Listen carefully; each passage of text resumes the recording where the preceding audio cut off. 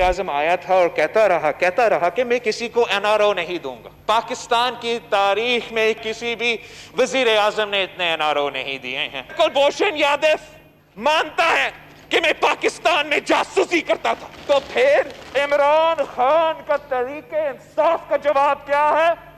कि कुलभूषण यादव को एनआरओ देना चाहिए। कुलभूषण को अपील का हक हुकूमत ऑर्डिनेंस कौमी असम्बली में पेश न कर सकी। अपोजिशन की शदीद मजाहमत और शोर शराबा। बिलावल भुट्टो का हुकूमत पर भारतीय दहशतगर्द को एन आर ओ देने का इल्ज़ाम। कहा, इमरान खान ने तारीख में सबसे ज़्यादा एन आर ओ दिए। बिलावल की तकरीर के बाद अपोजिशन का वॉकआउट।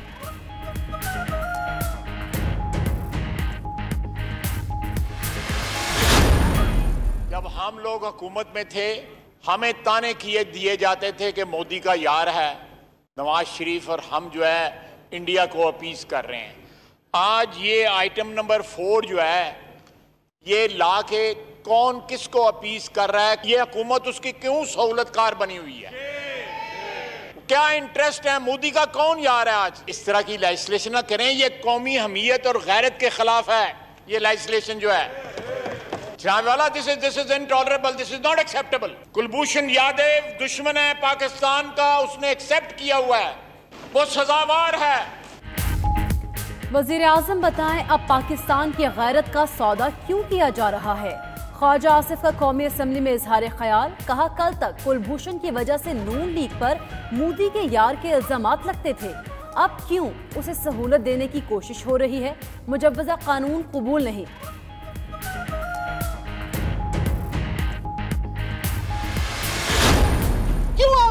आईसीजे में उस वक्त क्यों आपने एक्सेप्ट की थी जुरिस्डिक्शन हम फंस गए एक आईसीजे की डिसीज़न में क्योंकि इनकी कुताहियों की वजह से।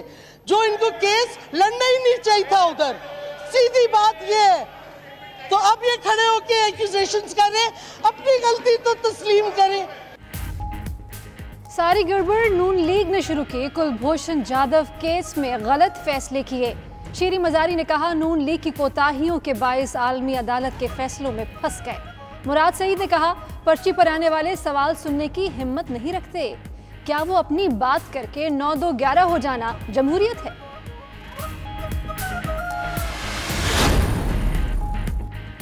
भारत को कुलभूषण तक तीसरी कौंसलर रसाई की पेशकश जवाब नहीं मिला। तर्जुमान दफ्तर खारजा का कहना है, पाकिस्तान कुलभूषण के मुतालिक आलमी अदालत इंसाफ के फैसले के तनाजुर में काम कर रहा है।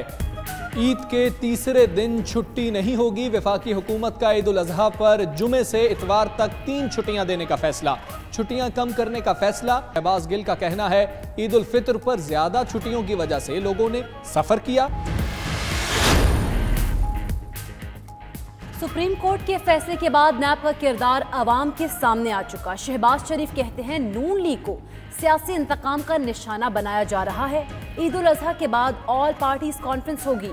राना सनाउल्ला कहते हैं, नैब सियासी इंजीनियरिंग करने वाला इदारा बन चुका। नैब को बंद होना चाहिए।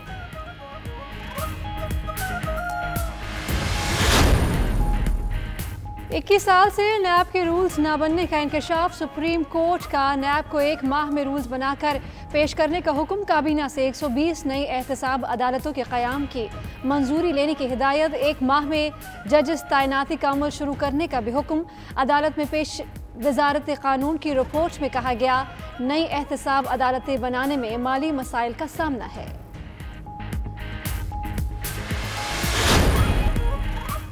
चाँद का साइज़ देखकर तारीख का ताजुन करना फलकियात या साइंस की कौन सी किताब में लिखा है?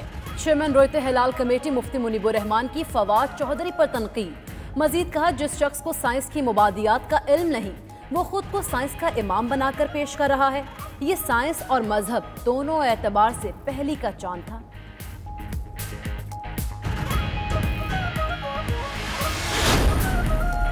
माली मुश्किल से दो चार पी टी वी के लिए नई परेशानी। पाक सेट इंटरनेशनल ने पी टी वी से वाजबुल अदा रकम 10 अगस्त तक मांग ली।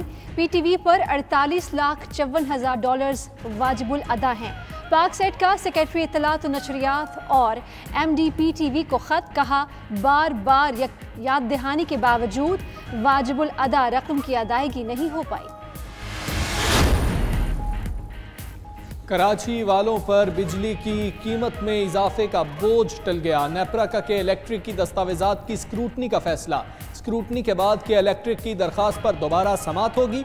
उधर शहर में लोड शेडिंग का सिलसिला थम ना सका। मुख्तलिफ़ इलाकों में घंटों बिजली गायब।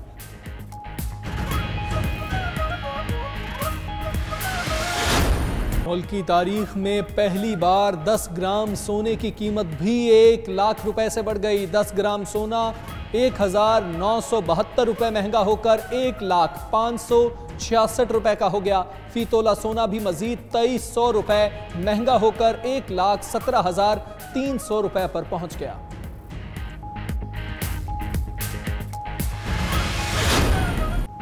जो चाहे बोलो, जिसे चाहे तनकीद का निशाना बनाओ। पाकिस्तान में सोशल मीडिया पर इजहार राय की खुली आज़ादी। शुतर बेमहार अफराद रोक टोक ना होने पर हर हद पार करने लगे। ट्रेंड की दौर में तनकीद का तूफ़ान बरपा। किसी की जाती ज़िंदगी महफूज है, ना ही रियासी इदारे।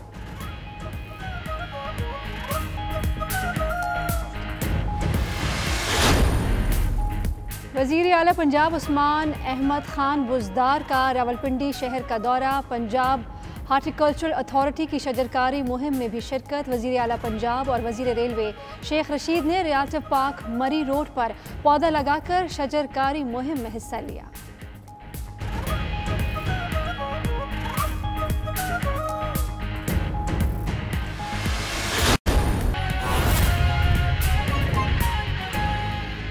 उनमें न बात सुनने की हिम्मत होती है और न जवाब जब उनको दिया जाता है उनकी, उसकी हिम्मत होती है। तो पहले तो आज मैं बड़े चैलेंजेस दे रहे थे और मैंने उनको बारह कहा था क्योंकि वो ट्विटर ट्विटर खेलते हैं हमेशा। कोई ग्रास रूट लेवल का तो उनको इलम ही नहीं है। पाकिस्तान में क्या कुछ होता है, पाकिस्तानी अवाम के क्या मसाइल है, सिंध के अंदर क्या कुछ हो रहा है, उसके ऊपर तो कभी बात नहीं करते क्योंकि इलम ही नहीं होता। लेकिन सिर्फ़ ट्विटर पे चैलेंजेस और ये चीज़ें देते हैं और हमने हमेशा कहा कि जनाब पार्लियामेंट के अंदर बहस करनी है तो फिर भागना मत। और पार्लियामेंट से तो हमेशा की तरह आज फिर भागने से भागने पे उन्होंने, भागने को तरजीह दी। फिर उसके साथ हम ये भी कहते हैं कि कोई भी मीडिया चैनल आप खुद फैसला कर ले।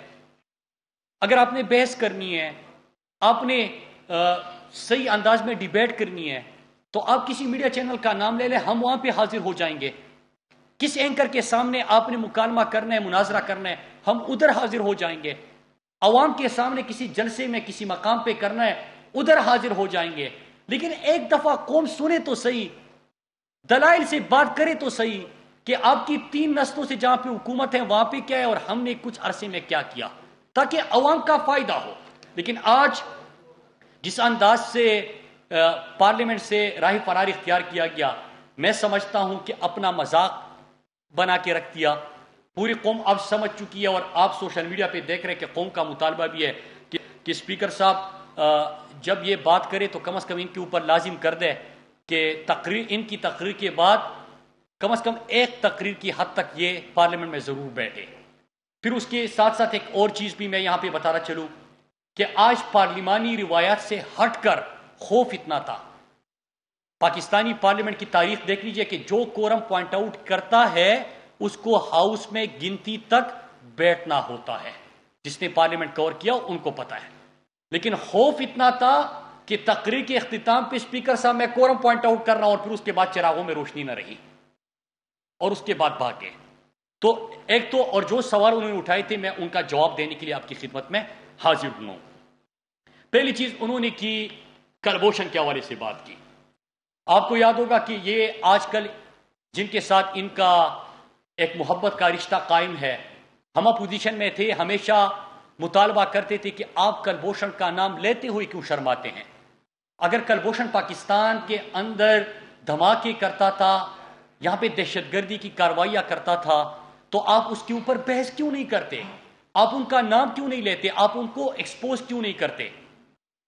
जिनके साथ इनका मोहब्बत का रिश्ता है आईसीजे में पाकिस्तान के खिलाफ जिनका स्टेटमेंट दिखाया गया, वो न मेरा था और न आपका था।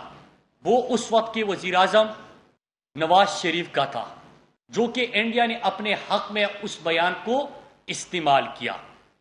फिर उसके साथ साथ अभी कौम को ये नहीं बता रहे, अगर आईसीजे में और पाकिस्तानी कानून के मुताबिक अगर कोई कानून साजी होती है, पाकिस्तान की बेहतरी होती है उसकी ज़रूरत होती है तो उसके, उसको कंट्रोवर्शियल बनाने की आपको पड़ी है।